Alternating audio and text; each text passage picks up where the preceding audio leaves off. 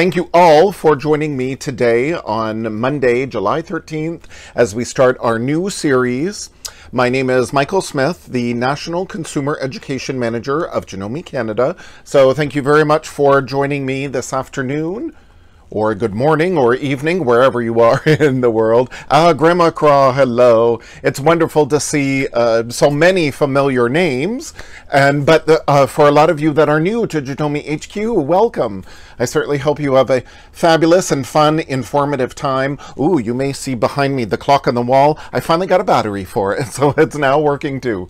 I desperately always need to keep track of time. So I will spin this back around. So, ooh, sorry for the light. I got a new light to try to cast more light on the subject.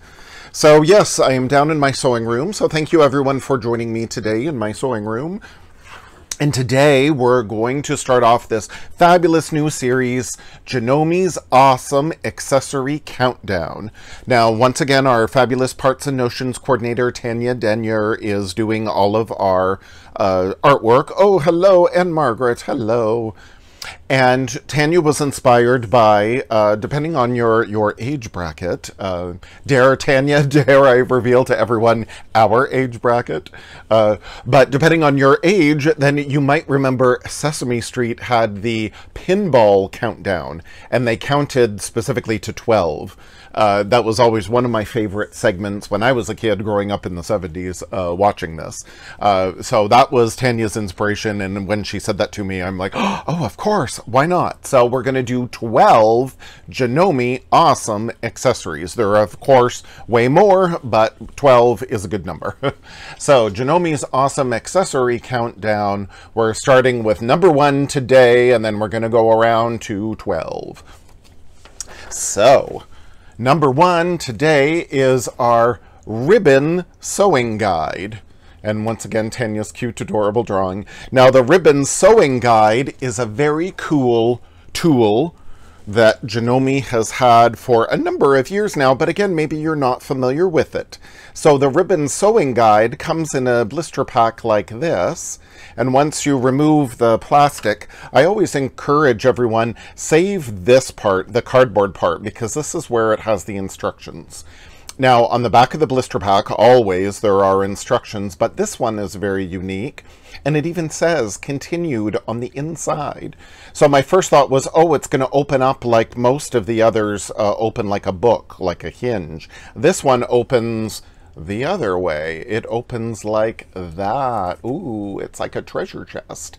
And yes, it is like a treasure chest. Look at all those instructions and what I'm most impressed with, diagrams, like accurate diagrams do. So you really can see exactly what they're doing and as well they have a full instructions here. It's wonderful. I love how Janome thinks of everything. Sorry for the glare. I've got all this lighting overhead and around, so hopefully you guys can all see.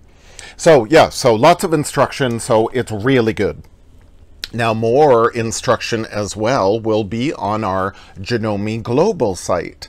Now, I talked uh, a lot in the previous series of A to Z with Janome about the Janome Global site.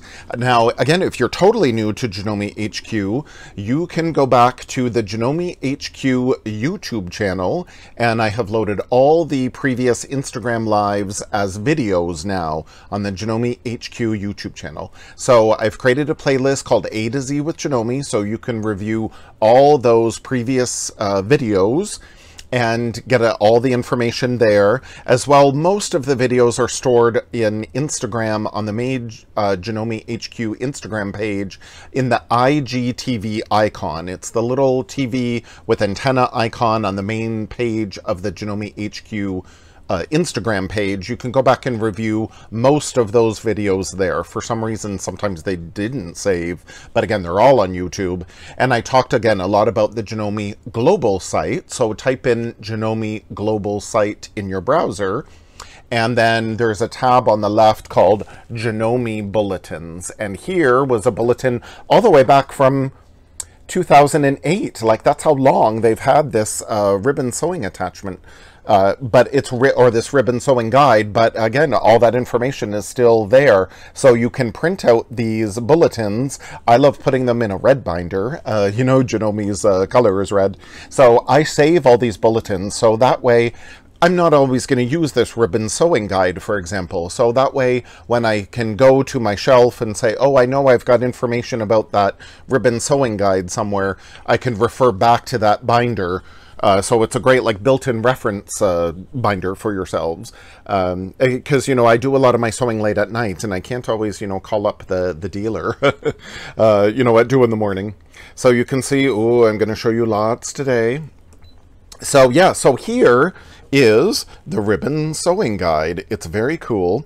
And what is uh, really cool about it is almost every single machine will take it. Again, almost. Uh, always check your machine, check with your dealer. Again, check on the instructions on the back of the, um, in the blister pack and in the uh, Janome Bulletin. But if you have a hole somewhere, uh, most of us have the holes in our needle plate. Oh, from Florida. Oh, you must be very, very warm there. And from Humble, Texas. Yes, we've finally cooled down here a little bit uh, because of all the rain that we've had uh, lately, but I'm loving this weather, so I don't mind it at all. So, so long as you have a hole somewhere, either on your needle plate or there may be a hole in the bed of your machine somewhere out here, then you're able to use this guide. It really does not matter if it's a 9 millimeter, a 7 millimeter, or a 5 millimeter amen to that. so again, virtually every machine can use this so long as you have a, uh, a little screw hole somewhere, either in your needle plate or in the bed of the machine, you're able to use this ribbon sewing guide. And again, Janome always thinks of everything. So there are two uh, little kind of adapters this one is slightly more narrow. This little uh, pad, it's like a rubbery pad, is slightly uh, more uh, thin and then this screw as well isn't as long as that one. You'll see the big difference. And then this rubbery pad here uh, to the right is thicker than the rubbery pad on the left. So if you have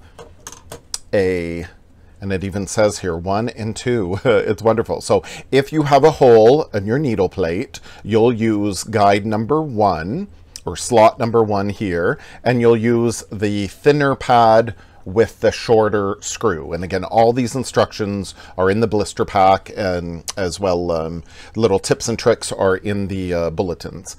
Uh, but yeah, so if you have a, a, screw hole out here in the bed of your machine, you'll use guide number two here, and you'll use the thicker rubbery pad, and you'll use the longer screw to attach it. So again, it's really simple. I'm just going to move those out of the way because I have um, guide number one. So there is my needle hole. So I'm going to just scoot that under and I just kind of feel around. Oh, there's the screw hole. Now you want to, oh, before I attach that then, you want to, there's a big, long, well, maybe I'll turn this. Uh, same attachment for both 7 millimeter and 9 millimeter. Yes, Sandra, so long as your machine has that uh, hole in the needle plate or the hole in the bed of the machine, you can use this attachment. It doesn't matter what the millimeter width is here in the machine. If it's a 9, a 7, or a 5, they'll all use this guide. Uh, hello, everyone. I see lots of people are jumping on. Thank you so much for joining me today. So this is your central uh, needle marked, this red line here. And then this guide is adjustable. These little thumb screws can loosen oops, can loosen, and then you can move that guide in and out. So you can use strips up to one uh, inch wide. And then, uh, or again, even really narrow, like quarter inch, it's up to you. Uh, I'm not always sure of millimeters, I must admit. I, uh, I work in uh, inches primarily. Uh, but yeah, so that center needle mark, that red mark, is you're going to put in the center needle and you can see on your bobbin cover maybe I'll put my hand behind it so you can see a little better, uh, that would be right along with those guide. That's your center, meet, center needle position on your bobbin cover. So that big red guide on your uh, ribbon sewing guide is going to be in line with those lines there.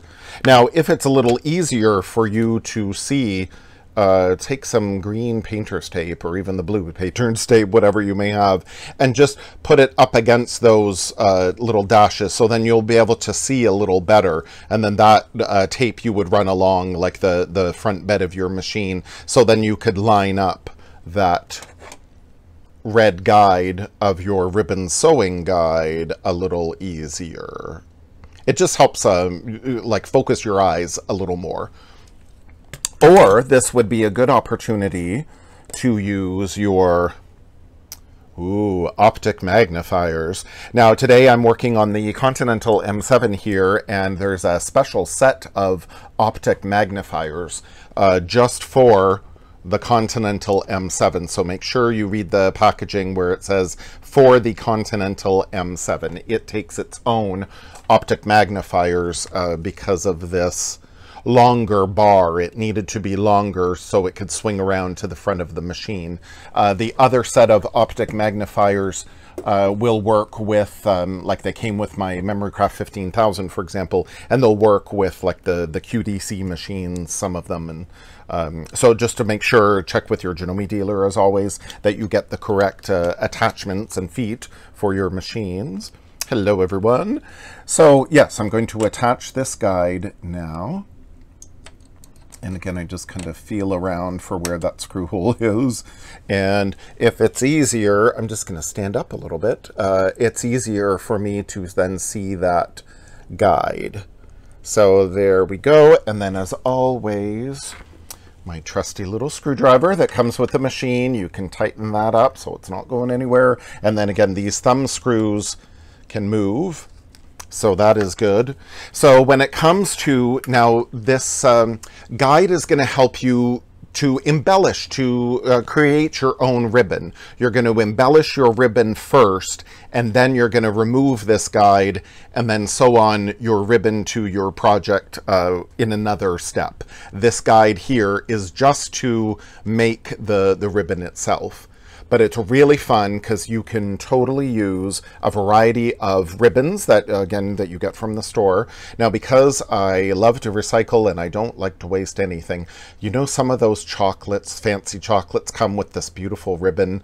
And again, I don't want to waste it, so why not use the back side? It, it's not as uh, shiny as the front side, but still, it's a perfectly good surface, so I can embellish a uh, ribbon that we've already purchased, or I love working with stripes, so how about uh, cutting up the stripes into various width, and then you can play with the stripes, as I did here. And again, you can use all the decorative stitches built into your machines. When people say, oh, I've got so many decorative stitches, I don't know what to do with them. This is a perfect opportunity to experiment with your decorative stitches. These are from the, the play category, saying happy with the little sewing machine icon and then sewing. So again, you um, choose whichever is built into your machine. And uh, you'll see here, I've got some water-soluble stabilizer. And then here I've got some uh, tearaway stabilizer under my strip. And again, I'm playing with the Stitch Sweet Love. The uh, stitches already built into the machine. Oh, hello, Mitzi. Hello, hello. So be it clothier. Hello, good afternoon. Thank you for joining me. So very, very fun. This, again, um, the stitches already built into the machine. I was using the um, hand stitch style machines that are built, or stitches that are built into the M7. So how fun is that? So you can really play around and whatever kind of look that you want. And then, of course, oh, I call it going down the rabbit hole. As you get uh, excited about starting these new techniques and with a new foot, you just keep thinking one idea after another after another. And this is why I don't sleep well at night. I was thinking, ooh, how fun it would be here is my big, like one inch wide strip, and then I prepared this other smaller strip, it's maybe three eighths of an inch, whatever, uh, and I folded under those raw edges to make this other strip. It could be a bias, whichever, and then using the twin needle and the ribbons and sequins foot, which I demoed in the A to Z with Janome series, I could use that presser foot to build up my ribbon. So instead of just one layer, just one ribbon, I stacked on another smaller ribbon and then again using a twin needle can do some more decorative elements. So it's like, oh my gosh, there's so much you can do. No, no end to the creativity. Uh, yes, Sandra, in your presser foot workbook, they do in the specialty presser foot addendum that comes with your uh, presser foot workbook. It's a perfect time. I don't want to make anyone sick moving the camera, but this is a perfect time. Thank you for bringing it up. Your Janome Presser Foot Workbook, available from your Janome dealer, is an excellent resource of all a lot of i won't say all because janome has so many presser feet it's amazing and attachments and accessories but there's a lot of presser feet included in this book a lot of the um, feet like the automatic uh, buttonhole foot and the over edge foot for example uh, come with a lot of machines. But there's also an addendum that you can purchase. It's called the specialty presser foot uh, addendum. Then that goes through a lot of the specialty presser feet that I demoed during the previous uh, series, the A to Z with Janome series, like the applique foot and the uh, sequins and ribbon foot, uh, which I'll show again in just a minute. So, and this ribbon sewing guide is in that specialty presser foot addendum. So yes, it is definitely good to pick that up because it's like little exercises on how to get the most from these feet, little tips and tricks. So yes, there's a lot you can do with this guide. I'll keep going around. Ooh, wake up my machine there. So the instructions say uh, to use some decorative threads, because yes, when you're going to make your own ribbon, and again, you want to have something fun to play with, that why not use some of your beautiful decorative threads. Now, Janome is a distributor of like iris thread I use for embroidery, beautiful bright colors. So check with your Janome dealers. They might have some Iris thread, or maybe they stock our Madeira thread. This is the Polyneon, poly neon embroidery thread again very beautiful now also madeira has the uh, katana thread which i love it is uh, multi-color thread. And of course, I left that sample box down in the office. Uh, but next week, I'm going to be back in the office. Uh, so back in the classroom. So I will have that Madeira multi-color thread. is very beautiful to use too. So again, check with your Janome dealer what threads they have. Or as well, Janome uh, regular polyester embroidery thread, again, very beautiful. So any of those are great to use or even experiment. Maybe try a, a thicker weight of thread, depending on your decorative uh, stitches that you're going to do. That might be cool to try.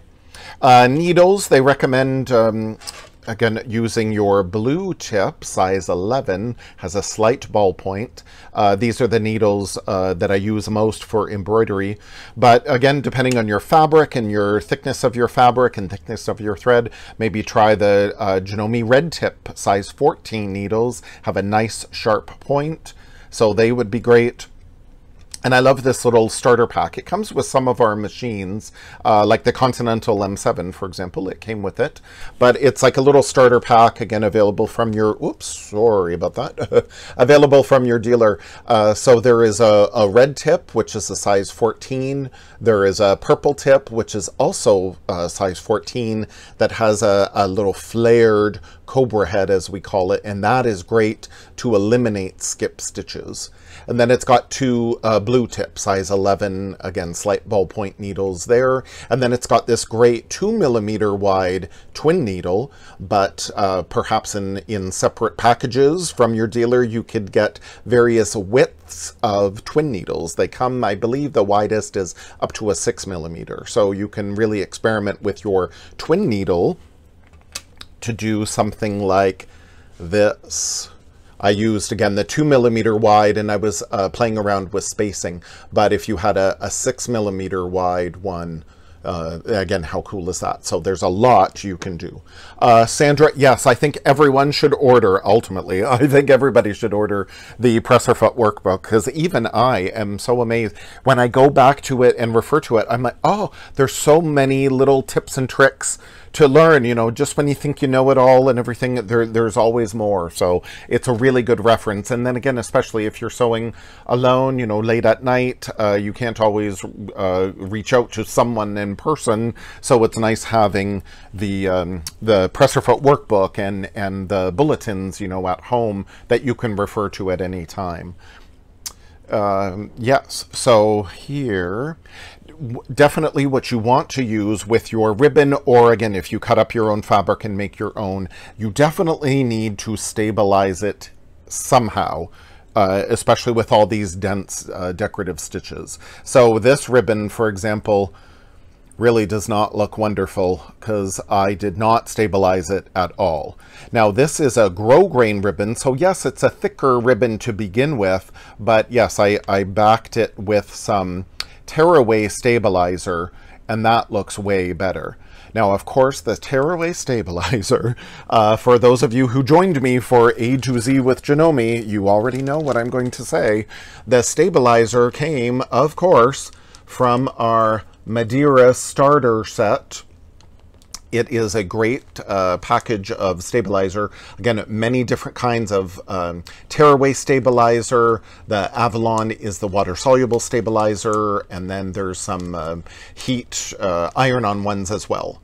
So it's a great starter pack, and the, and the sheets are quite big, so it's it really allows you to experiment and find your favorites. And it comes with this cute book uh, as well that uh, explains all the stabilizers and when you would use them and, and why. So whenever I'm embroidering is mainly why I use those stabilizers. But again, I save the cutoffs for everything. So then this was the perfect opportunity to use up some of those scraps.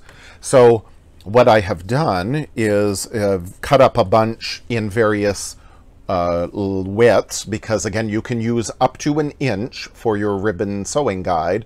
So I've cut them at various widths to then put under the ribbons.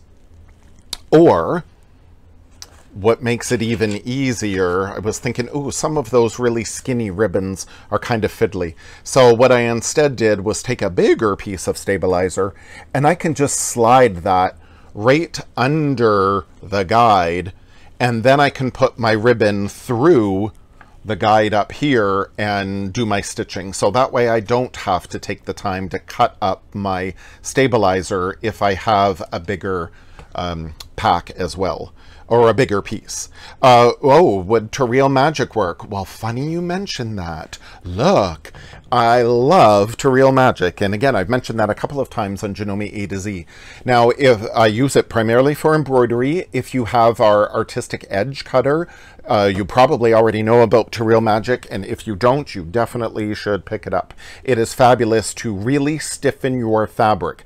It works way better. You'll use way less of it than your average spray starch or spray starch alternative. A little Terial Magic goes a long way and I love it for stiffening this ribbon because maybe you don't want to take the time to either uh, rip off a uh, tearaway stabilizer, especially if you're using some really intricate decorative stitches, or now water soluble, you know, yes, it's great to experiment with that too, and that's a little easier to remove. Uh, the bigger pieces I just cut off, and then I love using these uh, curved. These just happen to say Janome, so I always say, oh, they work better if they say Janome. But these uh, scissors are curved, and I use them for embroidery, so I can get right down and trim the threads flush with the embroidery, and I know I'm not going to cut into the fabric. So I like using them here to like cut off the the majority of my water soluble stabilizer so again I don't have to worry about cutting into that fabric and after I remove the bigger chunks of stabilizer, then I would immerse this in water and it would completely dissolve and leave my stitching intact and beautiful. So that works well, but why I love this Terial Magic is I don't really need to use those secondary stabilizers. This fabric is just regular fabric, and again, kind of limp and normal, whatever. But this is treated with Terial Magic, and it has become almost like paper. It really is cool. It works beautifully. And again, a little goes a long way. For something like this strip of fabric, I would put this in a uh, like plastic bag and I would spray Terial Magic to get your fabric all saturated. Then um, I have a little hanger over my laundry sink actually, and I hang up my strips over the laundry sink. So if there's any extra, it'll just drip into the sink. And then after it is dry, then I press it and it's nice and stiff so it really works well. And that way again I don't have to in fact that's what I did with this strip here. And again how beautiful. There's no puckering whatsoever. And again I didn't have to worry about removing any kind of stabilizer uh, from the back. So I really really recommend Terial Magic. And again I find I use it for so many purposes now. It really works great. Now I did this little experiment uh, as well when you do have some water soluble stabilizer, just as a, as a little tip, and you end up with all these little bits and bobs left over, I've got this little box. Uh, there used to be chocolates in it. And after all the chocolates were gone, I keep this by my uh, pressing table. And any little scraps of water soluble stabilizer, I just keep in this little box. And then eventually what I do is I fill up a little spray bottle with hot water and again, I've marked it water soluble stabilizer, so I never mix it up with my regular uh, spray bottle that's on my pressing table.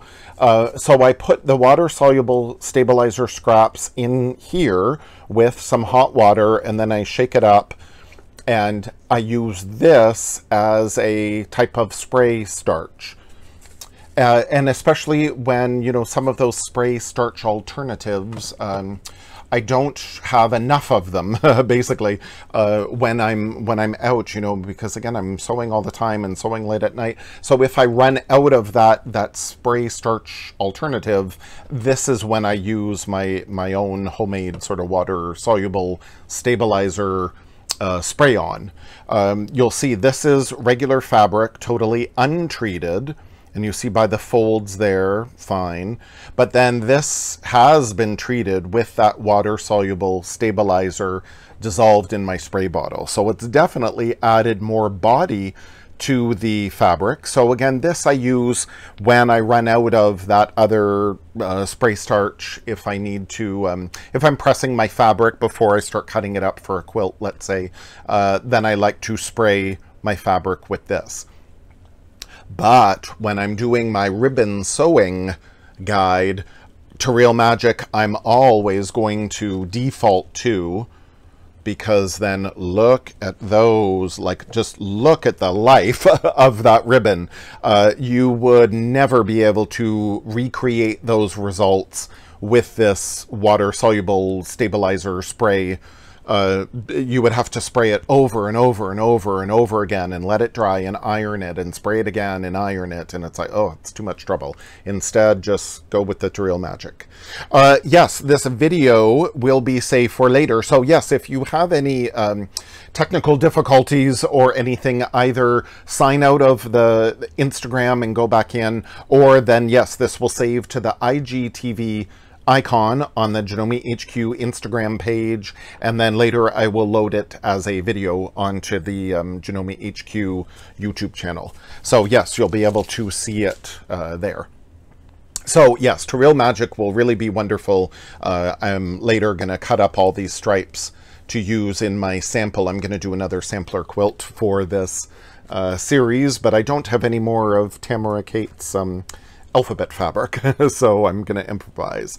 Uh, just, yeah, very briefly, time is going by so quick. Again, you can really experiment. There I did a skinny strip, and I put it on a bigger piece of stabilizer, but again, um, slightly bigger piece, but again, instead, I think I'm going to put, a, again, a big piece of stabilizer like that under the guide, and then I'll stitch uh, on top of that and then remove it later. It'll, it'll be easier. Or again, I'm going to use my Terial Magic instead, and then I won't have to use that stabilizer at all. But yes, you can cut up your strips any width up to an inch. Then I was again playing around with experimenting by putting on this other skinnier ribbon on top of this, this bigger piece. And again, using my twin needle, or you could do a decorative stitch as well. And then I thought about, oh, folding under the, the raw edges if you wanted to, to make it narrow and more clean finish. And then this, you could do a uh, applique stitch or again, just a, a straight row of stitching to affix this to any project.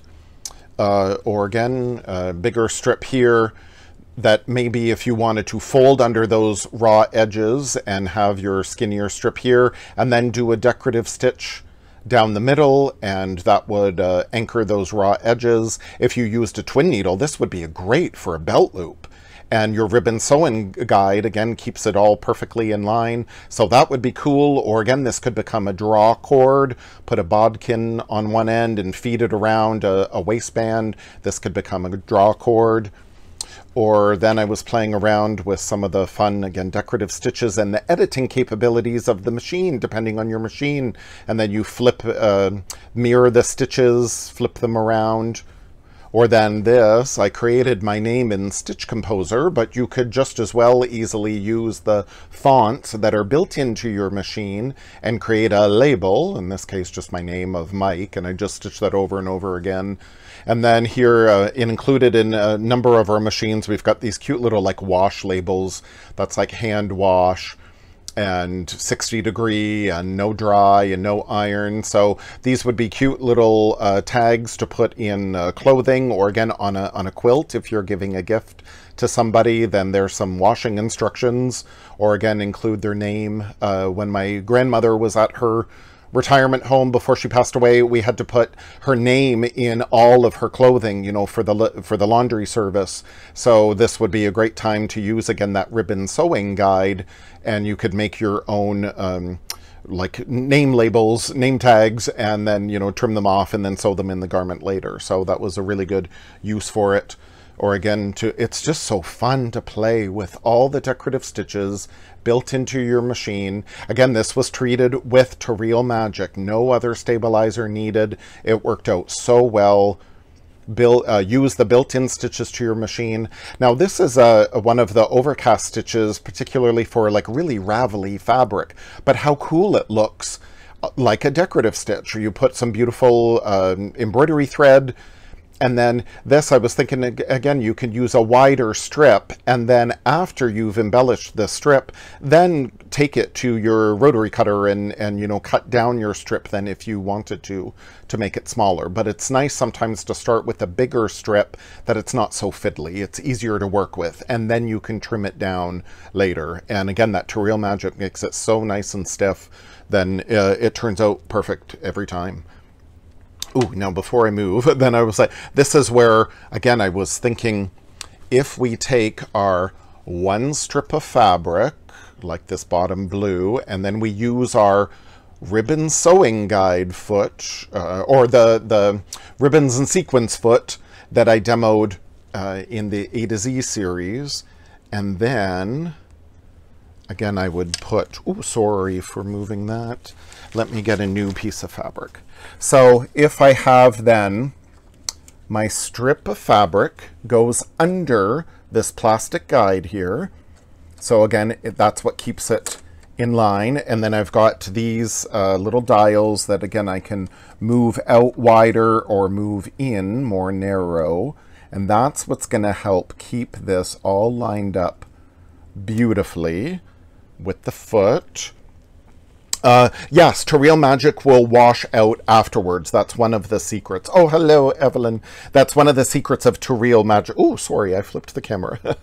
one of the secrets of uh, Terial Magic is that, yes, it really stiffens your fabric, but it completely washes away afterward, and it's as if you've never known it was there.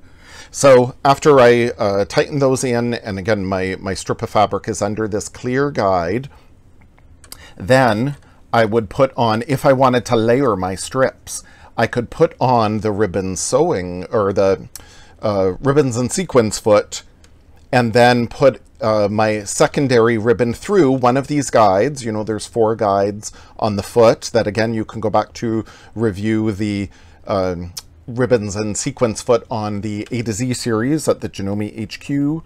And then this ribbon would first, uh, you know, it would go under like that. So I would have it under this clear guide as well. And then I would feed it into this guide here and then again stitch away and how beautiful that would be. It would be so fun.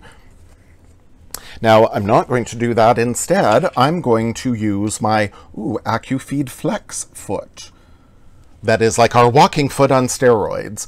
Now, you could totally, with decorative stitches, uh, I tried first using the uh, F foot or the F2 foot, the open toe satin stitch foot. And again, these have the little channels on the back, so your decorative stitches feed right through. So they are great choices to use for decorative stitches. Um, I didn't really like the F2 foot because I felt by not having any bar across here, it kind of drew up the fabric a little more uh, that I wanted and it sort of puckered it a little more. So I, I, eliminated using the F2 and instead used the regular F foot because it's got that bar across and then help that keep uh, help the fabric stay a little more uh, flat as it was going up to the needle. But then I was experimenting with the AccuFeed Flex foot because one of the wonderful innovations of the Continental M7 here is I can use the AccuFeed Flex, which again is like having a walking foot on steroids. I can use that with our decorative stitches, which is something we previously couldn't do before if on other models of machines, if we engaged our AccuFeed Flex by hitting that little icon there, you'll see it has grayed out other stitches that um, by activating the AccuFeed Flex, I couldn't use uh, any stitches that go to the left or to the right. The AccuFeed uh, Flex is, again, like a walking foot on steroids, so it really only wants to move front and back. It wouldn't let me do any stitches sideways. But now, on the Continental M7, I can remove that. Uh, is the F2 available for the 9900? Uh, yes, it would be, absolutely. You can um, go check with your Janome dealer to get that F2 foot. But yes, they're available in a separate blister pack if they did not come with your machine.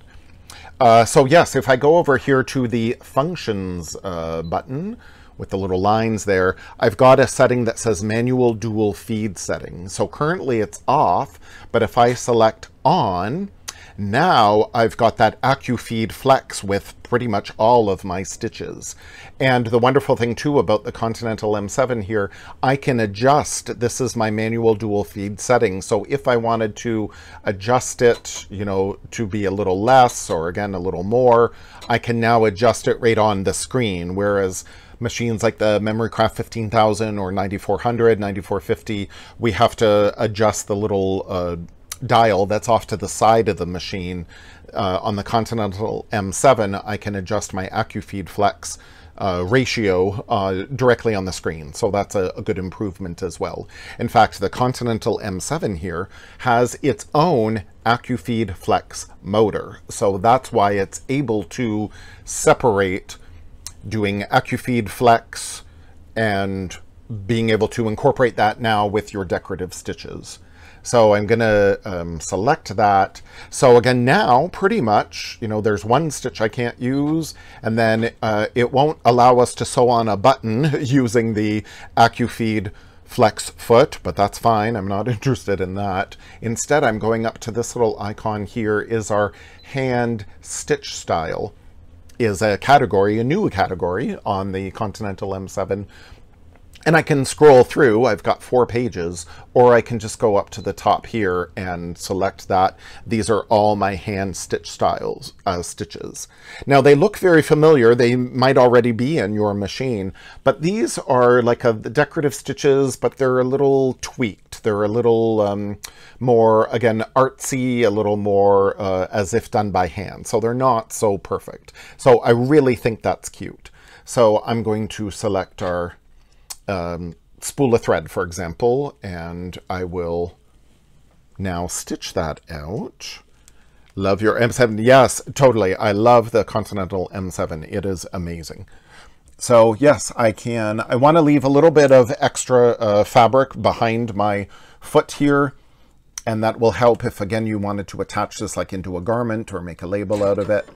And now away I go. So by having that manual dual feed uh, option, I'm able to take advantage of the AccuFeed Flex. So I've got upper feed dogs as well as lower feed dogs. Now this is a good time as well to uh, adjust your speed control. You don't necessarily have to go 1300 stitches a minute like the Continental M7 does. So you can go down anytime I do decorative stitches. Uh, same with I'm embroidering. I don't necessarily want to go as fast as it can. Now, as you're stitching along, now if you notice that depending on your stitch, you know, if, as this goes maybe back and forth, back and forth, and this ribbon like right up here may start buckling, again, always just stop your machine and smooth it down a little bit before it gets to the foot. That's totally fine. You know, nothing tragic is going to happen by any means. Maybe I can speed it up a little more. But it's really, really fun. And again, this I could have lined up my strip. I see uh, it's not quite centered. I could have lined it up a little bit better, but for you know, time's sake, again, I'm always rushing. uh, but yes, again, and you just let it go and you just let it do its thing. It really, really works well. It's so cool.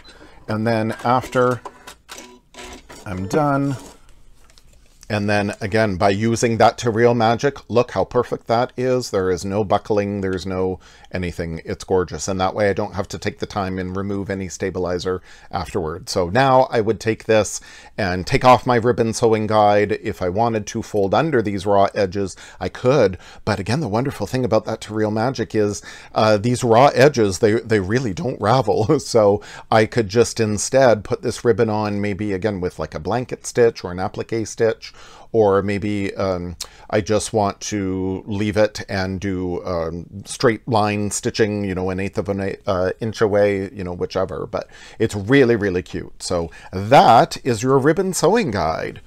So yes, thank you everyone for joining me today on our very first Janome's Awesome Accessory Countdown. And today, number one was brought to you by the number one, the Ribbon Sewing Guide. But let me flip this around. Uh, so coming up on Wednesday, then we're going to be doing number two, uh, which is then our um, free motion couching feet, which are very fun. Uh, tomorrow, Tuesday, uh, Erin will be at Janome Canada Instagram, or not Erin, uh, sorry, Amanda will be at Janome Canada uh, Instagram live doing, oh, I think is she doing raw edge applique?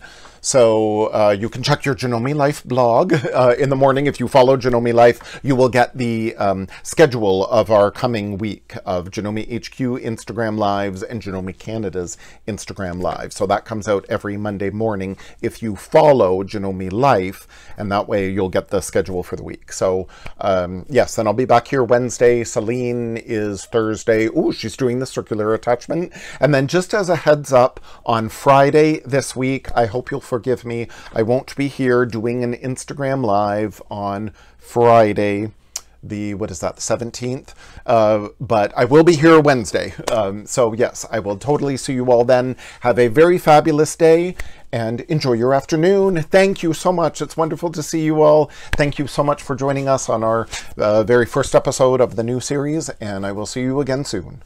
Bye